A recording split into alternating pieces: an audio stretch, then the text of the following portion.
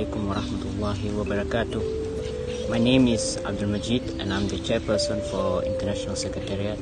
My topic for today is about the importance of unity in Islam. Ramadan is meant for our moral and spiritual training and for the purification of our bodies, minds and souls. This is an annual training for all believers. It is a special time to get closer to Allah and to seek His blessing and bounties. It is a time to learn taqwa piety, self-discipline and patience. It is a time to give more charity and become more generous. It is a time to seek Allah's forgiveness and to forgive each other. It is also a time to be thankful to Allah for His gifts and bounties, especially His gift of Iman. Muslims' greatest needs today is the establishment of a climate in which Muslims can feel the sense of solidarity, union, and unity, ruled by love that expects no reward, and friendship, brotherhood, and solidarity that prevail throughout the month and beyond. Allah subhanahu wa ta'ala mentions in the Holy Quran, أعوذ بالله من الشيطان الرجيم واعتصموا بحبل الله جميعا ولا تفرقوا and hold fast all of you together to the rope of Allah and be not divided amongst yourselves. Ayah number 103, Surah Al-Imran.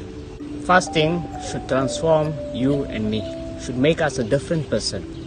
We should try to be extra kind and courteous during this month and all the months that follow. Let's not leave to practicing our good deeds only in this month.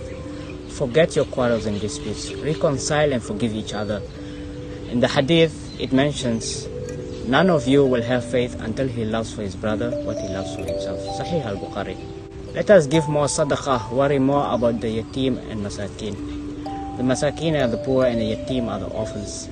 Sadaqah, as we know, prepares us for the year after, making Allah's mercy on us greater. In the Quran, in Surah Al-Hujurat, verse 10, Allah subhanahu wa ta'ala mentions, إنما المؤمنون إخوة فأصلحوا بين أخويكم واتقوا الله لعلكم ترحمون. Translated, the believers are nothing else than brothers in Islam.